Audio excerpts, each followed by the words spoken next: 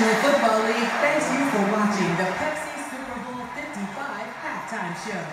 After the game, go to NFL.com slash SBLVA to watch the Super Bowl 55 live visual album for all of tonight's performances. Thank you for watching this presentation of NFL Network.